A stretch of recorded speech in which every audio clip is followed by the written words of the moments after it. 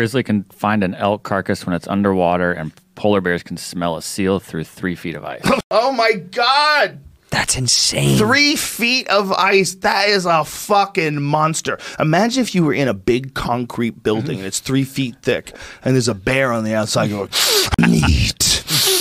If that was a monster movie, you'd be like, this is insane. Their parents have already been killed and their head is just breathing. This concrete's three feet thick. I smell you. Oh, he talks too? What the fuck?